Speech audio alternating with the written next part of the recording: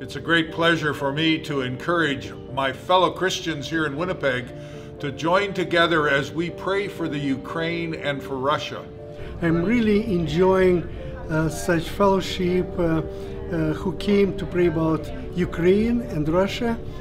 And it was a wonder time, wonderful time of getting together with various pastors.